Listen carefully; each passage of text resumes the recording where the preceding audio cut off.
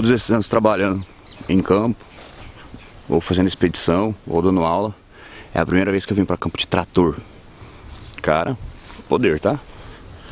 A gente não fica parado em nada. Acostumado com caminhonete, moto, cavalo, a pé. E trator o bicho pega.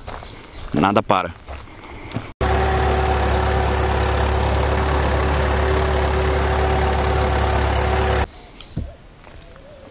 Agora tá amanhecendo.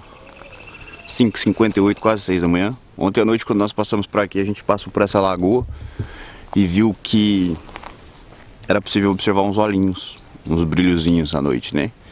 E aí nós vimos que essa lagoa tinha a presença de alguns jacarés. Então eu resolvi parar aqui para pegar um jacaré, para tentar pegar um jacaré e ver se eu consigo gravar para vocês. Tá, vou... Eu vi que tem uns filhotes ali, cara. Gostei da ideia, quer dizer que tá tendo reprodução aqui perto. Né? E, isso é interessante porque essa lagoa ela tá no meio de uma área é, de produção agrícola. E, o jacaré nessa região aqui é comum, mas geralmente em lagoas maiores, né? Essa lagoa é pequena em relação às outras. Mas qual é a parte legal? A parte legal é que se tem um jacarezinho se reproduzindo aqui, quer dizer que existe uma qualidade, existe uma disponibilidade de alimento, né? É... Então, vou tentar pegar um ali pra gente conversar sobre ele. Vamos tentar.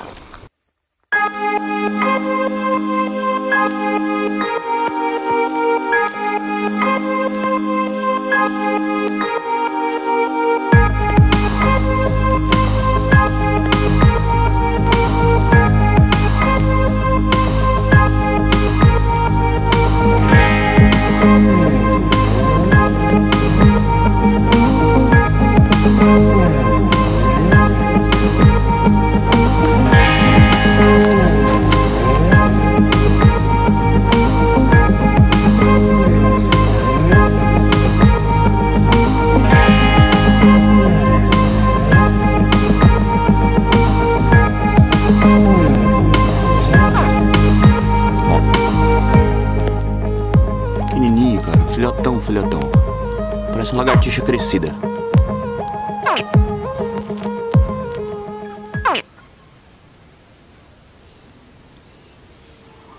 Quem sabe ele vocalizando não acha a mãe.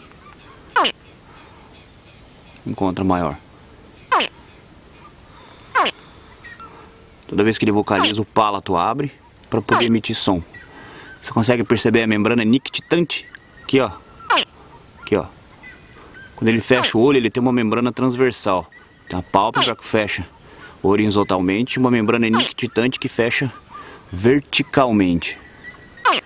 Coisa linda, cara. Coisa linda. Olha, já ia me morder. Acho que aqui vai. Aqui vai, aqui vai, aqui vai. Olha só, galera. Esse aqui é um jacaré do Pantanal. Ah, o nome científico dele é Caimã Yacari. Esse eu sei. Caimã Yacari Yacari. Ele é um animal, uh, ele é um réptil muito comum nessa região do Cerrado e do Pantanal, tá bom? Ele vai ter sua distribuição até lá perto da Argentina, bastante na Bolívia também. Mas o que é legal de falar desse cara aqui? Esse cara foi considerado praga alguns anos atrás na região do Mato Grosso do Sul. E aí eu preciso destacar o assunto de que praga é um conceito que nem existe na natureza, né? Praga é um conceito totalmente humano, né? Ou por que, que tinha tanto desse animal? Um desequilíbrio ecológico, né? Existia muito dele porque o ambiente não estava equilibrado como deveria estar. É, você já deve ter visto alguns vídeos na internet, vou ver se eu consigo colocar um trechinho aqui, uh, de estradas com muitos animais desses, muitos animais desses. Daí você deve pensar, né, existe uma superpopulação desse animal naquele local. Então quando tem alimento disponível, esse cara vai continuar se reproduzindo uma boa e vivendo normalmente, né? É, quando existe falta de alimento, escassez de alimento, eles podem causar, praticar até o canibalismo. Existem criações uh, de, em cativeiro desses animais para abate, né? O potencial zootécnico dele é bastante alto porque utiliza-se o couro, né, para produção de bolsas, cintos, sapatos. Ele é exportado. Nossos principais uh, compradores são China, Estados Unidos, mas a carne também é bastante apreciada. É uma iguaria muito apreciada também. O jacaré do Pantanal é um animal ectotérmico, né? Então, ou seja, ele não regula a sua temperatura sozinho, ele depende da temperatura do ambiente para tentar regular a sua.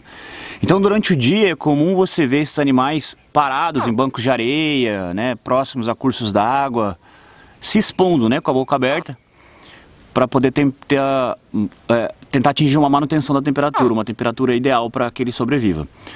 E a parte legal é, cara, eles vivem na água, eles é, se alimentam geralmente na água, na maioria das vezes dentro da água, mas a reprodução dele acontece fora. A fêmea bota uh, seus ovos geralmente em regiões onde tem bastante folício, ela cria um ninho, ela nidifica, bota seus ovos ali e mantém o local adequado. Ah, e legal, existe proteção paternal, ela fica próxima, cuidando do ninho. Então ela sai para se alimentar e volta para cuidar do ninho. Isso é muito legal. E ela realmente defende o ninho, isso é muito, muito bacana. Ó, esse barulhinho aqui de vocalização, cara, eu não consigo gravar, né? Mas ali atrás apareceu um animal um pouco maior. Na hora que eu for soltar ele, eu vou tentar gravar. Né? Tá atraindo. Que barulho maravilhoso. Esse animal é bastante caçado, ele é uma presa muito visada, principalmente pela, pelo potencial que ele tem da retirada da carne. As pessoas, principalmente as pessoas mais inescrupulosas, eles arrancam apenas o rabo do animal para fazer o filé e se alimentar do rabo. Puta, sacanagem, né? mas o pessoal faz isso, ele é muito caçado. Principalmente durante a noite, onde eles são mais visíveis e mais ativos. Durante a noite eles são mais ativos, então é fácil de observar eles pela presença dos olhos que brilham né, quando você joga a iluminação neles. Ah tá, esse animal aqui é o filhotão, né? Mas ele quando adulto, você deve imaginar, nossa, esse jacaré vai ficar um monstro gigantesco. Não, esse animal aqui ele não fica muito grande. Ele vai ficar entre 1,20m, 1,5m podendo passar um pouco disso, mas nunca vai atingir é, comprimentos exorbitantes, não. E aí aquela dúvida, ah, o jacaré ataca com o rabo? Não, o jacaré ataca com a boca, né? Ele morde e o primeiro movimento que ele faz é de morder e realizar um rolamento, né? Ele gira sobre o corpo da presa, que é um movimento que ele faz justamente para poder é, quebrar pedaços, né? Para arrancar pedaços da presa.